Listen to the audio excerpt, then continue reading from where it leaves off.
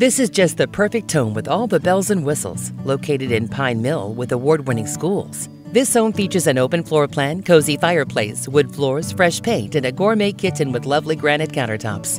A private backyard offers a patio area great for entertaining.